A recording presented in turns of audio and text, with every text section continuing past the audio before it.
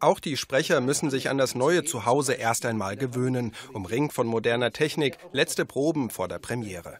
Hinter ihnen werden künftig statt eher kleiner Bilder wesentlich größere Fotos und Illustrationen zu sehen sein.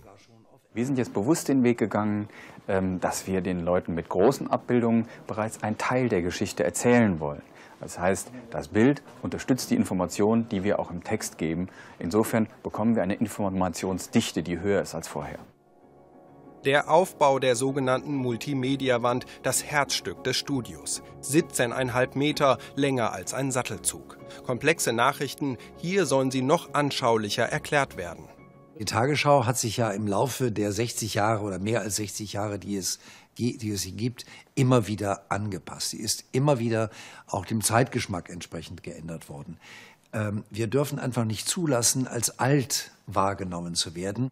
Vorbei auch die Zeiten, als Moderatoren nur hinter Tischen zu sehen waren. In Sendungen wie Tagesthemen oder Nachtmagazin kommt Bewegung.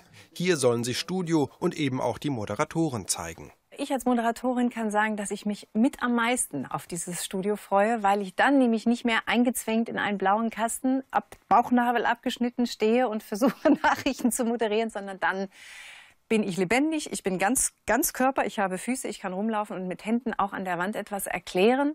23,8 Millionen Euro hat das neue Studio gekostet. Das vorgegebene Budget wurde eingehalten.